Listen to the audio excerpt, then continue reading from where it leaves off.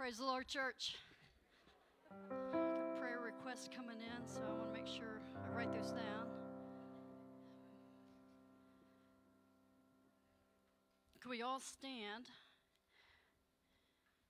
Be thankful to be able to come to the house. It's mighty cold out there, but thank the Lord we've got heat in here. All right.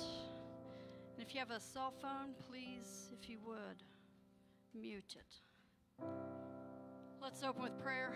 Thank God that we're here and welcome His presence. Father, we are so thankful to be able to come into the house this morning. God, to lift you up and to glorify you, for truly you are worthy this morning. There's nobody like you, Jesus. You alone are worthy of that praise and that worship, so we've come to do just that. I ask, God, that there be a liberty of your presence, God, that you can touch and move and anoint in each and every individual as we lift you up and praise your name this morning.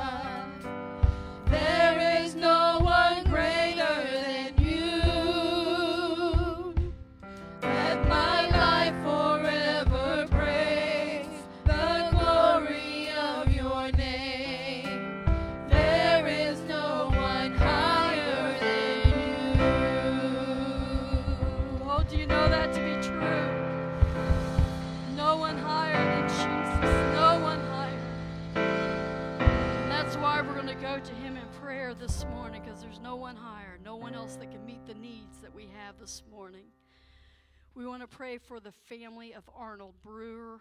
This is the pastor of where the singers used to attend. He passed away, so pray for his family, the Brewer family, that God would give comfort during this time of loss. We want to lift up Sister Simone. She's very ill, not able to be with us. Pray that God would touch her. We want to pray for Richie, the brother of Brother Mark Brockman, who's battling cancer and been given six months diagnosis. No one's higher. God is able. So let's pray for Richie. Let's also remember Sister Patty and Sister Denise. They're both facing surgeries upcoming. So keep them in your prayers. Pray for Montgomery. He's not feeling well this morning either, needs a touch of physical touch. Sister Ruthie fell this morning getting ready to come to church and um, put a big gash in her head, and she's at the ER right now. So let's pray for her that God would move and give her strength.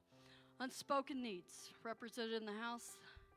Let's go to the God that's higher than anything and anybody else that can move in our situations. God, we lift our hands this morning in faith to you asking God that you would touch every need that has been mentioned. God, many of them have physical needs, some need comfort. But you're the Jehovah Jireh, and you're able to meet each and every one. I pray, God, for every unspoken need that was represented by hand. Whatever the burden is, whatever the circumstance, God, I pray your authority upon it this morning. I pray your anointing to move and minister as only you can. God, that there would be a testimony, there would be a report of your glory. Father, we pray this morning the authority of you, God, that you would not be hindered but there would be a loosening. Oh, there would be a liberty for you to move, God, to anoint and to touch those that are in need this morning.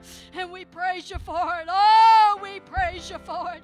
We glorify you for it. We worship you this morning, knowing, God, you're on that throne and you're in control. Knowing you're in control.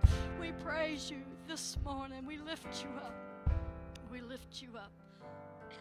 Let the church say amen. Wow, y'all's quiet. I know it's cold, but the blood should be pumping pretty good by now. Everybody say amen. Better. Y'all may be seated.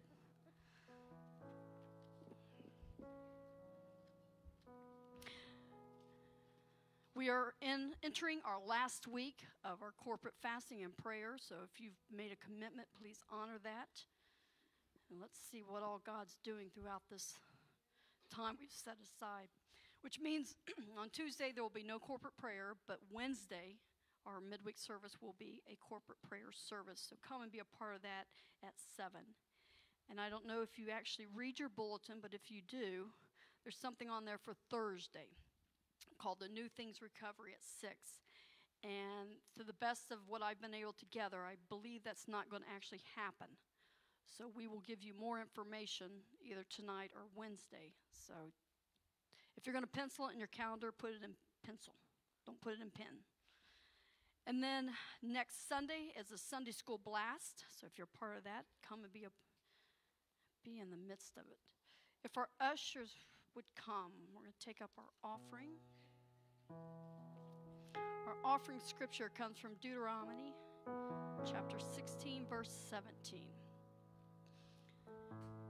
Every man shall give as he is able, according to the blessing of the Lord your God that he has given you. Has God blessed you? Let's pray over this offering. Father, we ask that you anoint that which is given, this tithe and this offering. God, as we give and commit into your word in obedience. God, not because we just want to obey, but because we are grateful and thankful of how you've provided our needs. Bless and anoint each and every giver. In Jesus' name. Amen. Amen. Lord, bless you.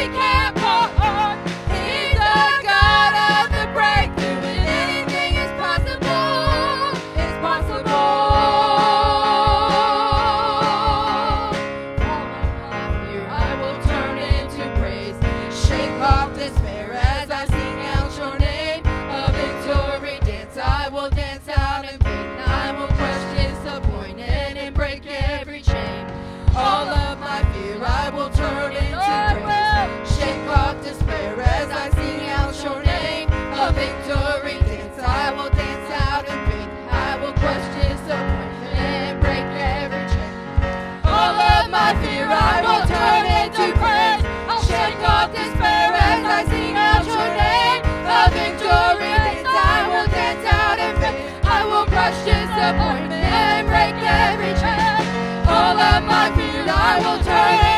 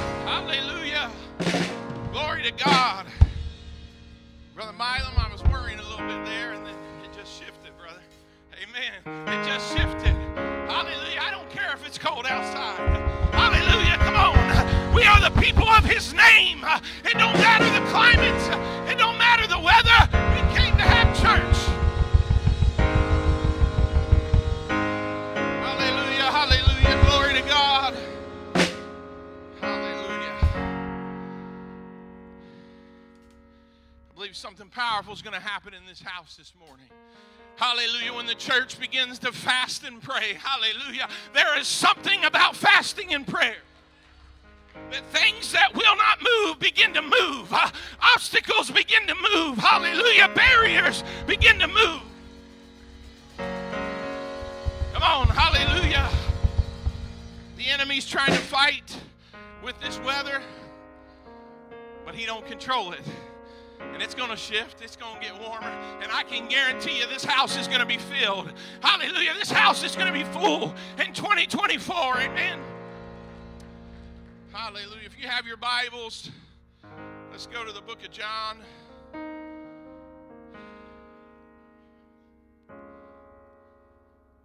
going to be preaching from the book of John this morning. I've spent a lot of time in John. And I'm not leaving until God kicks me out of the book of John. now, understand something. It's the gospel of Jesus Christ, according to John. But we say the gospel of John, but it's the gospel of Jesus Christ. It's not about John, it's about Jesus. Hallelujah. Verse 12, I'm going to read two verses to you. The light of the world, and Jesus spake unto them, verse 12, saying, I am the light of the world. He that followeth me shall not walk in darkness, but shall have the light of life. And when he says life right there, he's not just talking about your physical life. But he's talking about your spiritual life and eternity with him forever. That you walk uh, on the streets of gold in heaven with Jesus. Oh, hallelujah. He's going to give you eternal life. Go to verse 58. Jesus said unto them, Verily, verily, I say unto you, before Abraham was, I am. Before Abraham was, I am. And I want to preach to you this morning this thought confronted by his deity. Confronted by his deity. Let's pray. Hallelujah. As you set your Bibles down, Jesus, we thank you this morning, God.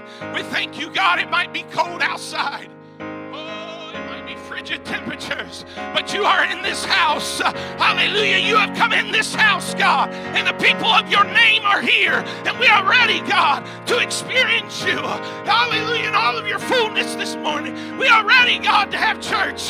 Hallelujah. Speak to us, God. Speak to us this hour, God. Hallelujah. 2024 is going to be different, God. Something has shifted in the atmosphere, Jesus. It is closer to your coming. Hallelujah. Your coming is upon us. Hallelujah. We feel you. We feel all of heaven. Hallelujah. Jesus, we give you the glory, the honor, and the praise in Jesus' name. Amen. You may be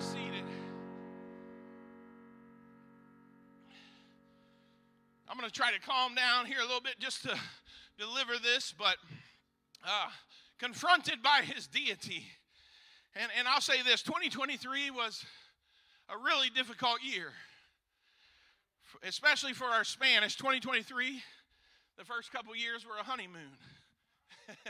you plant the church and it's a honeymoon, and then in 2023, problems begin to happen.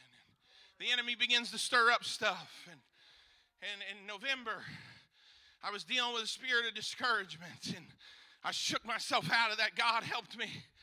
And I preached on December 3rd, and it's been a long time since I've been up here.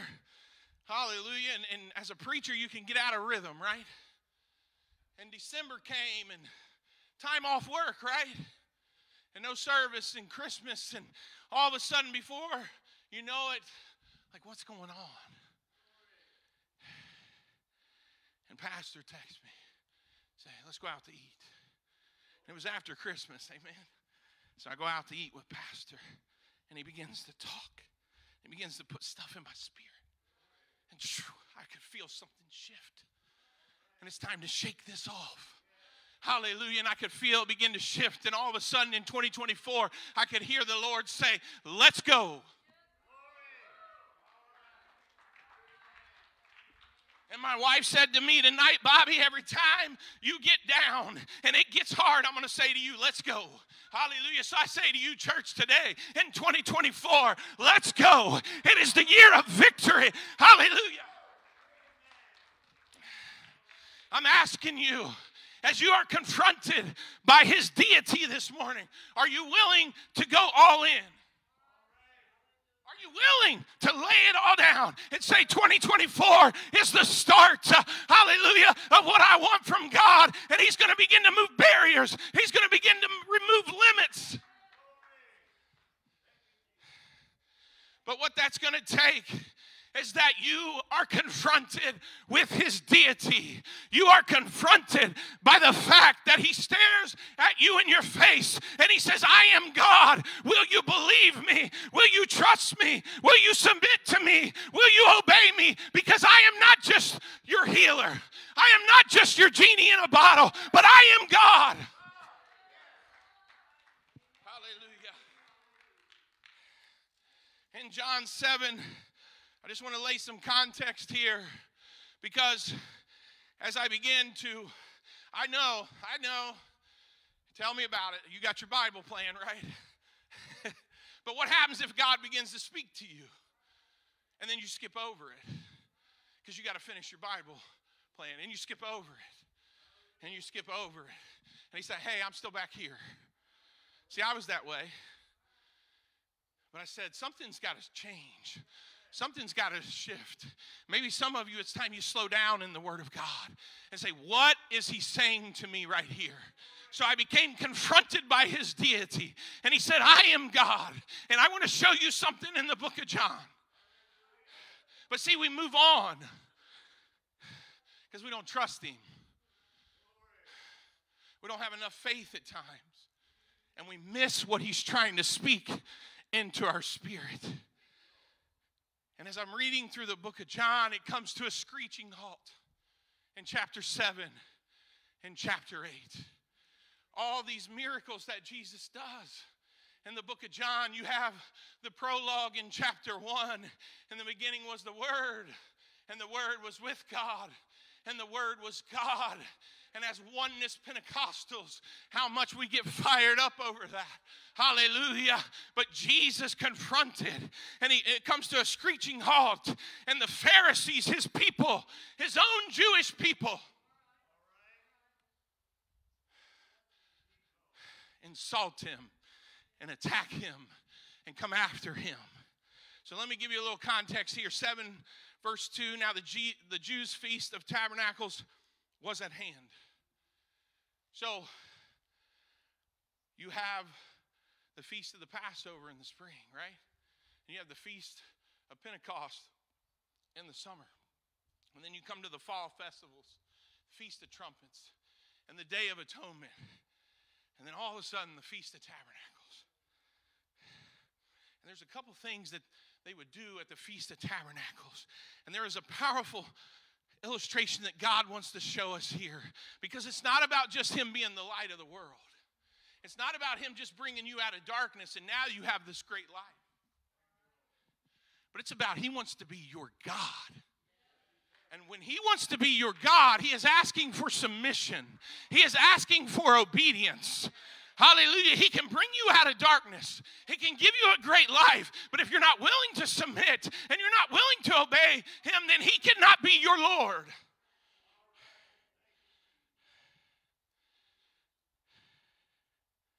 So even here, Jesus' brothers, they don't believe who He is. Verse 3 His brethren therefore said unto him, Depart hence and go into Judea that thy disciples also may see the works that thou doest. For there is no man that doeth anything in secret, and he himself seeketh to be known openly. If thou do these things, show thyself to the world. Listen to this. For neither did his brethren believe in him. We're talking about James that would become the pastor in Jerusalem and write the book of James. He didn't, the light of the world, the God of heaven is standing right in front of him. He grew up with the God of heaven and he does not even believe who he is. Come on. Don't allow your spirit to grow dim. That he stands right in front of you and he begins to speak to you from his word, and you just glance over it. And you just glance over it. I got to move on, God. I got to move on because you're not willing to submit to his voice. You're not willing to submit to where he wants to lead you and take you. What has Jesus said? Then Jesus said unto them, My time is not yet come but your time is always ready. The world cannot hate you, but me it hateth because I testify of it that the works thereof are evil. Go ye up unto this feast. I go not up yet unto this feast, for my time is not yet full come. Verse 10 But when his brethren were gone up, then went he also up unto the feast, not openly, but as it were, in secret. God is saying, You are confronted by my deity. And do you need to broadcast everything you do? It is time to walk in the secret place. As Brother Rex began to speak, the secret place with the Lord, and the Lord will begin to move. But you have got to submit to His deity. Hallelujah. And His deity confronts you this morning and said, Will you move, hallelujah, into the secret place and have fellowship with me so that I can be your God and not just your healer, not just your deliverer, not just give you bread, not just give you material things, not just give you what you need, but I can also be your God. But it's going to take submission. So when you begin to study out the Feast of Tabernacles, and here's what I'm going to say. So I was supposed to preach this message a little earlier, right? I went through a little health battle with ear infection. But it's still good because there's still people that have Christmas lights up. We're almost to February and they still got Christmas lights. Well, guess what? In December, I really like Christmas lights. I like to go see the lights. And I went down to the Ark Encounter and saw the lights and, and uh, had a great Christmas Eve. My brother in law, Brother Felix, he made pan de jamon on Christmas Eve. And as we would say in Spanish, he wasn't pichire. He didn't just put a little ham, he put a lot of ham on there. And then we went out. There was this house in Springboro, and they had 20 minute light show, and it was awesome. And I, I love Christmas lights. And then I didn't get to go to all the lights that I wanted to see. But I'll tell you what, after December 25th, take your lights down. I'm ready for the new year. Hallelujah. I'm ready for the new year. And we came in this place on New Year's Eve. And in 10 years that I've been here, that was the greatest New Year's Eve service that we have ever had. There was a move of God in this place. And even on the way to that service, I told Mary Faye, I said, something's in the air. You can feel it. You can feel it tonight. And we come in here, and there were some awesome testimonies. Right, Sister Glenda? Awesome testimonies. And God's Spirit began to move. And I said, Oh my, this is a sign of things to come. And then what happens? The snow comes and the cold temperatures and all that momentum, right? But we're going to get that momentum right now. We're going to get it back because it's not going to stay cold. Hallelujah. But here, and I'm going somewhere, in the Feast of Tabernacles, there were two things that happened. The priest will go down to the pool of Siloam, the libation of water and they would begin to take water out of the pool of Siloam and they would carry it back to the altar and they would pour that water out. And what was to symbolize to them? Hallelujah. That God poured water from the rock and he took care of them in the wilderness. But what happens in John 4? Jesus meets the woman at the well. And he said, If you drink of that water, you're going to thirst again. But I have come to give you rivers of living water. Hallelujah. And Jesus, God Himself, that created the heavens and the earth, shows up and says, You're putting your trust in what I did all those years ago the libation of water, and the priests are carrying the water. But He said, I got a new water. I'm going to pour out my spirit upon all flesh, and you're going to be filled with my spirit. Hallelujah. And I'm going to give you new life. And water that you'll never thirst again. Amen. And then what else happened? Probably thinking, where in the world is he going to Christmas lights? They would light up the temple. The illumination of the temple and the candelabras would be lit up in the inner court, in the, in the court, in the temple, and all of Jerusalem could be seen from miles away. The Feast of Tabernacles. But is that all that's coming to an end? And we say, take your Christmas lights down and as the lights of the temple and it's getting ready to go out, all of a sudden, the light of the world appears.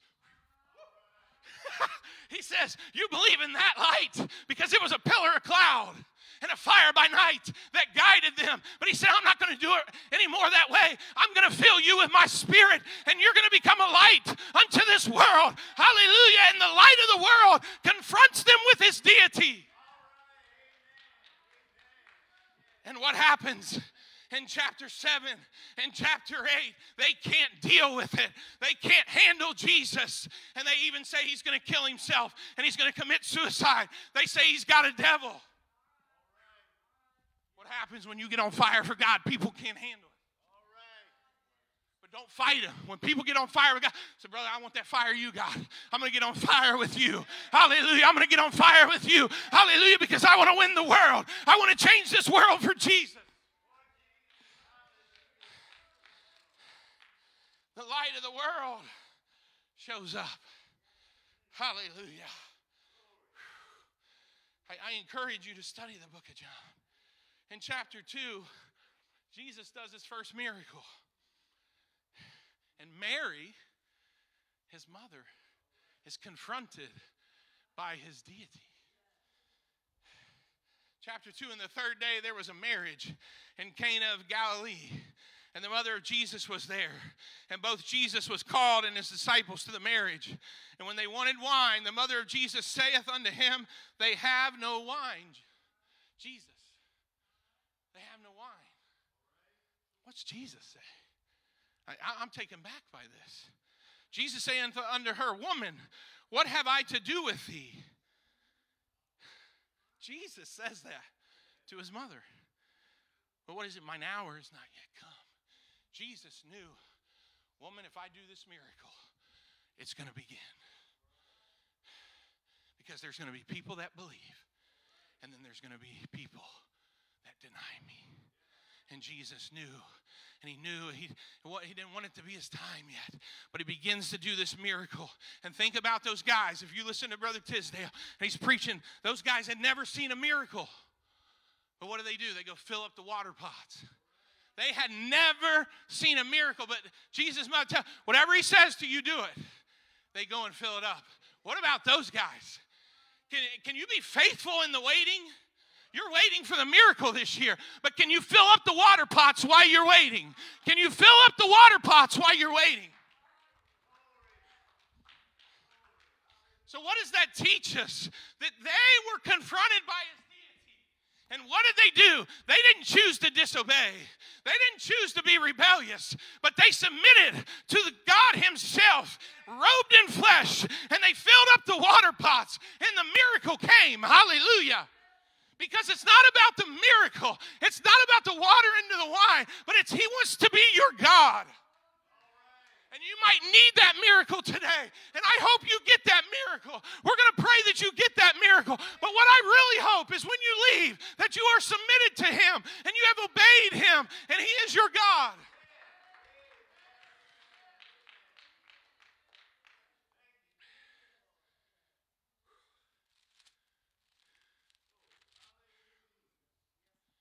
John 3. I promise you, I'm not going through the whole book of John today. Nicodemus shows up. There's a Pharisee. He comes by night. He's scared. Maybe they'll find out. Maybe he believes in Jesus. And he calls him rabbi. And he says, We know that thou art a teacher come from God. For no man can do these miracles that thou doest except God be with him. Folks, he's more than a teacher. If you've come here and you think he's a good man, and you just want to hear a little bit about him, and you want him to give you this or give you that, there's more to him than that. That he is not just a teacher, he's not just the sustainer of life and the bread of life. He doesn't just give you livers, rivers of living water to change you, but what he gives you, hallelujah, is that he is God himself. And when he showed up in flesh, we are confronted by his deity. And just as the Pharisees were confronted by his deity, you are going to be confronted by his deity today. And he will stand at that altar and he says, I know you need a miracle, and I can do that, but can I be your God? Are you willing to obey me? Are you willing to submit to me? Are you willing to lay down, hallelujah, those things that keep conflicting in your spirit? And you have that conflict in your spirit because you can't lay it down.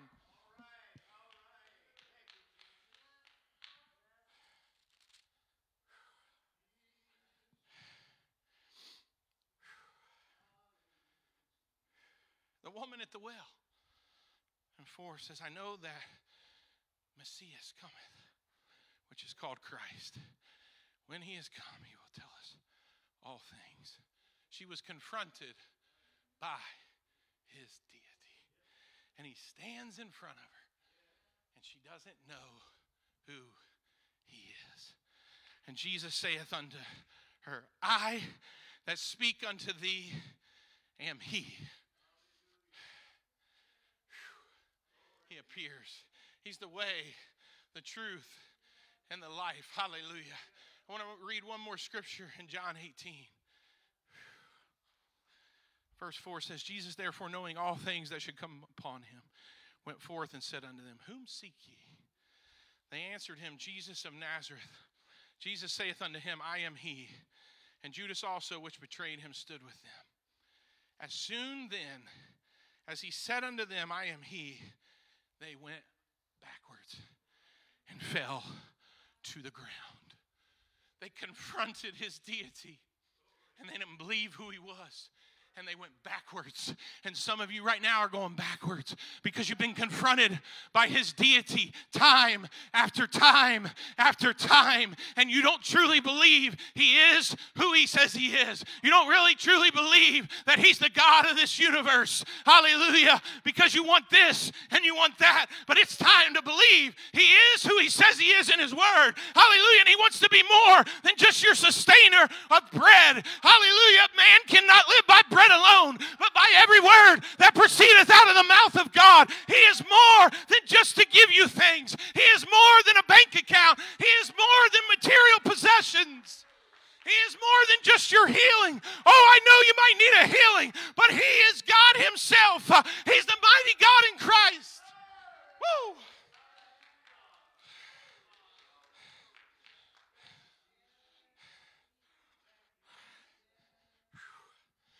Come on, Oneness Pentecostals. In the beginning was the Word, and the Word was with God, and the Word was God. The same was in the beginning with God. All things were made by Him, and without Him was not anything made that was made.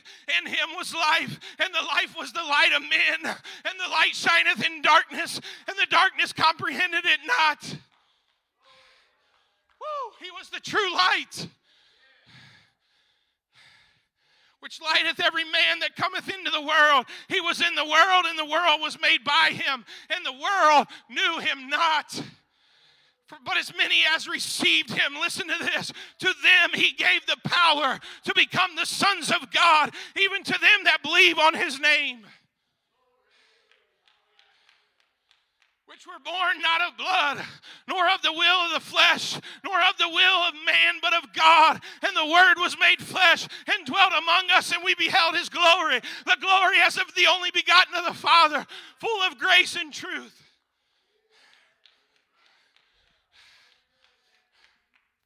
So you walk around and maybe you tell people, I'm a Christian.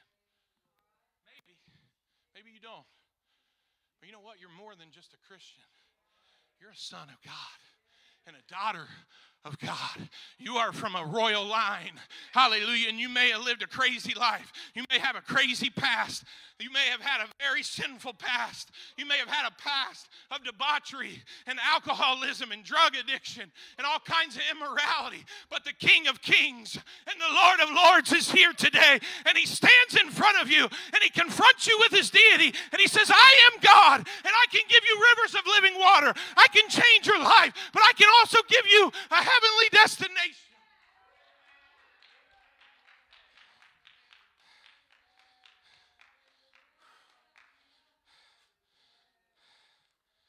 I'm trying to close here. But the Word of God is so powerful. The Word of God, if you will just seek out the Word of God, please, when He, stop, when he stops and He says, slow down, don't just skip over it. Don't just skip over it. Oh, I got to complete it all. I, I was just like that. I got to complete it all. do you want accomplishment or do you want God Himself to show up and talk to you? Hallelujah in the beginning, God. See, that same God that's being preached in John's letter right there, that same Jesus that shows up in the temple when the lights are coming down and take your Christmas lights down, that same Jesus shows up, says, I'm the light of the world. Guess who he was? In the beginning, God created the heaven and the earth, and the earth was without form and void, and darkness was upon the face of the deep, and the Spirit of God moved upon the face of the waters. And God said, Let there be light, and there was light. That same God now shows up in the temple in flesh, and he says, I am he. Before Abraham was, I am. Hallelujah.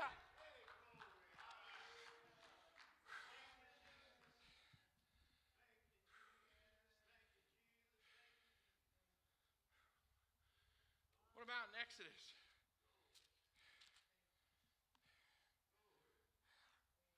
Moses. He longed for the day that we live in. Moses longed to see him. Hallelujah. And Moses said unto God, Behold, when I come unto the children of Israel, and shall say unto them, The God of your fathers has sent me unto you. And they shall say to me, What is his name? What shall I say unto them? And God said unto Moses, I am that I am. And he said, Thus shalt thou say unto the children of Israel, I am has sent me unto you. Read the scriptures. He says, Before Abraham was, I am. I am he. Hallelujah. I'm telling you, Oneness Pentecostals, we have a truth in the oneness of God. Hallelujah. Don't you sell this truth for anything. There is nothing worth this great and precious truth that He is one. Hallelujah. And His name is Jesus. Hear, O Israel, the Lord our God is one Lord, and His name is Jesus. He's all through Scripture from Genesis to Revelation. From Genesis, hey, Moses, hallelujah. Hey, end time church, I'm the same God. He's the same God yesterday, today, and forever. He lives and He's in this place, and He can change your life today. The Lord is my light, yes. But what does Psalm say? He's also my salvation.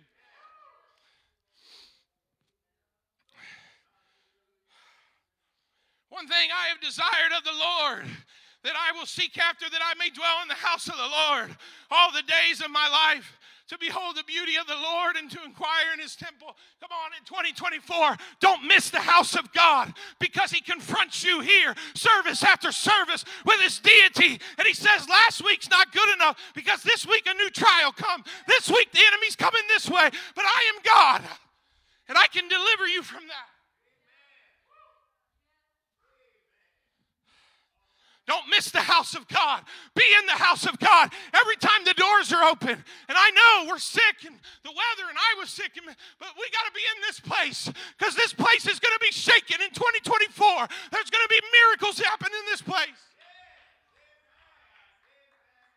But more than the miracles, there are drug addicts and prostitutes and people in sin and addiction that are going to come in this house and they're going to be filled with the Holy Ghost. Hallelujah. And they're going to become sons and daughters of God.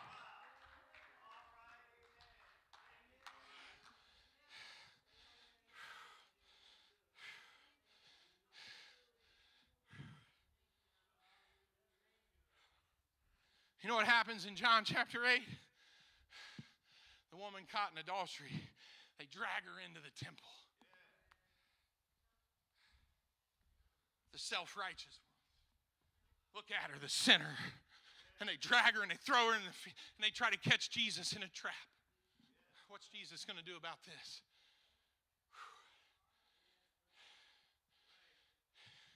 And they all lay down their stones. And they walk out. Says, Neither do I condemn you go and sin no more. And what they don't understand is the power of that story is Jesus didn't approve of what she did. But he had mercy and he had grace. Church, every soul, I'm telling you, when they come in and you're confronted by his deity, the God of heaven is watching you. And he said, How will you treat them?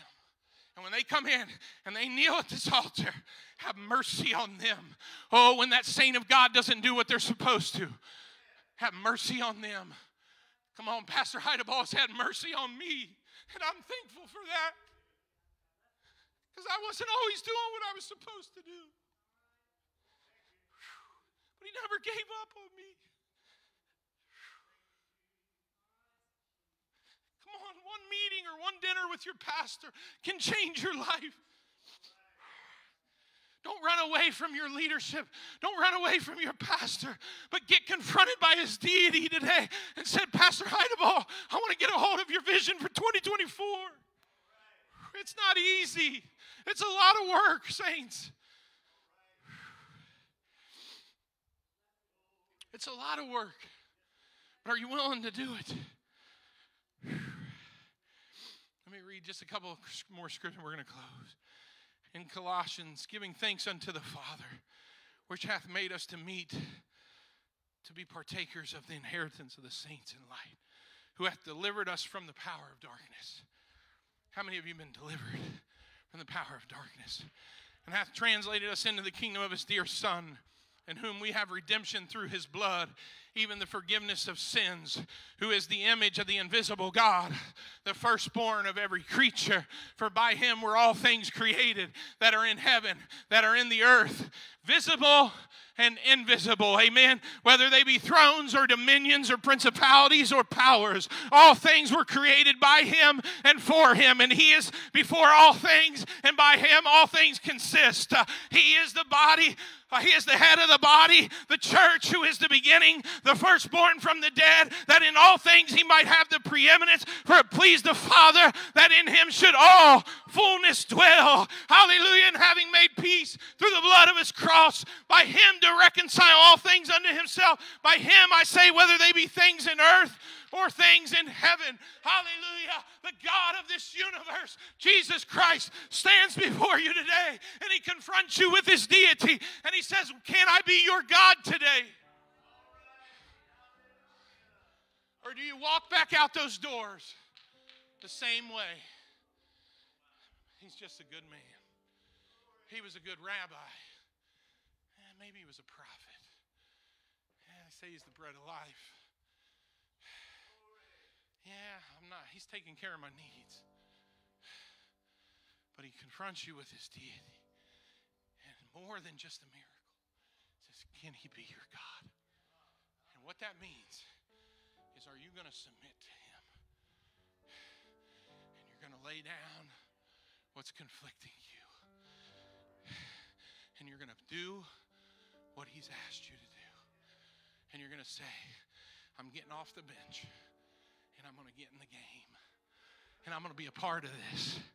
I'm going to close with this story because that's it happened on New Year's Eve. On the way to the watch night service, the Lord took me back. And I remember going into my senior year playing college football. A few of our teammates. And we came up short that. And we went to the game that would decide who would play in the conference championship. And when we were driving that night, something was special in the air. And we were talking, we're going to do this. We're going all in.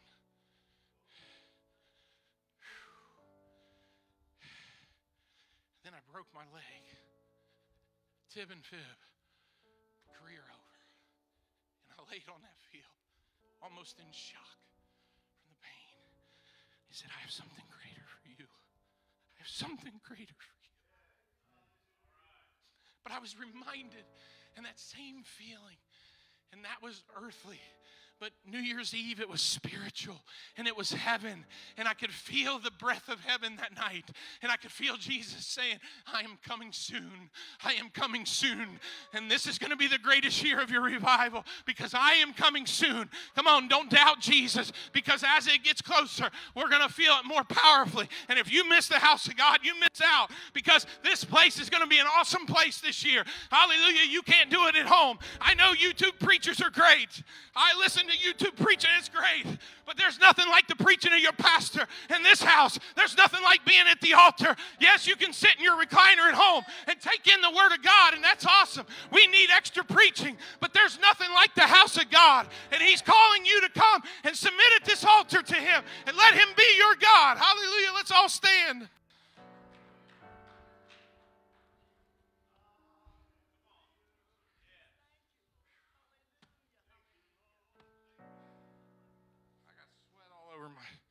Tie. Goodness. we got to work, saints. You're going to be confronted by his deity. What's he do at the book of John? What's he do at the end of the book of John? Read it. He asked Peter three times, Do you love me? Because if you love him, then he's going to tell you this go feed my sheep. Go to work. In 2024, Let's go. Hallelujah.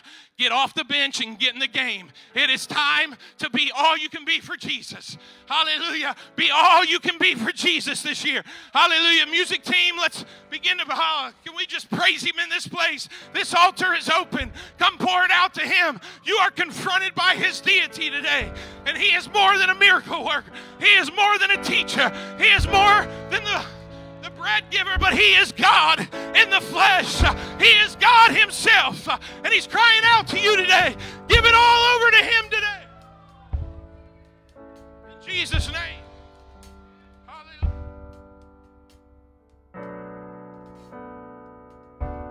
For mercy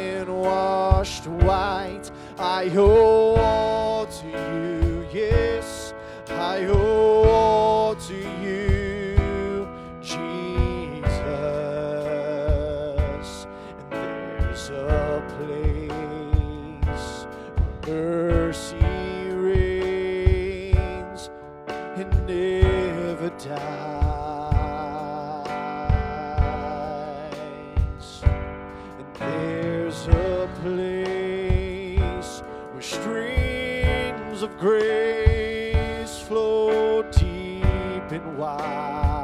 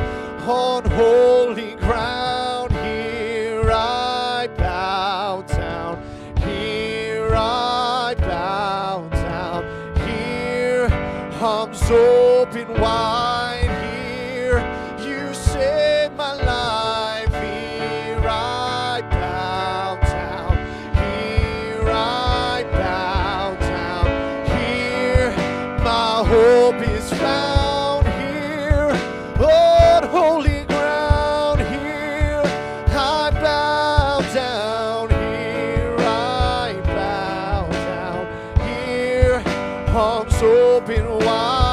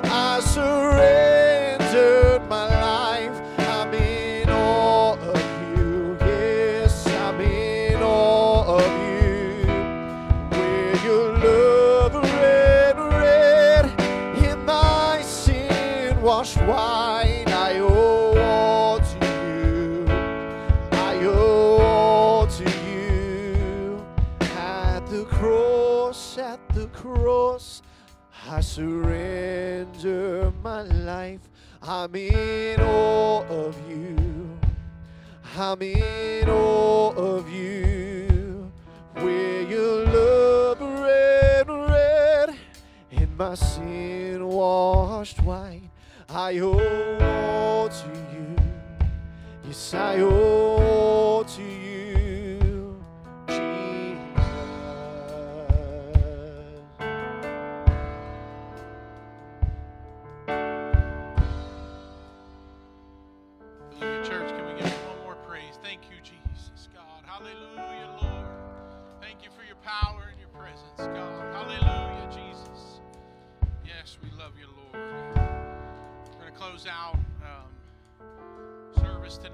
Tyler will be preaching. Hallelujah. Let's come back to the house of God. Please remember those that are sick in body. Uh, and with these temperatures, it's so cold. So those that are unable to make it, hallelujah.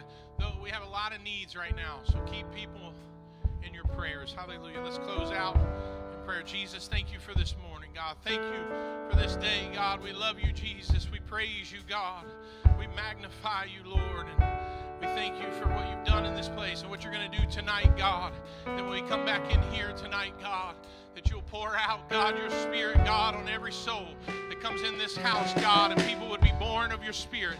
Hallelujah. Born of the water and born of the spirit in Jesus' name, God. We give you the glory, the honor, and the praise in Jesus'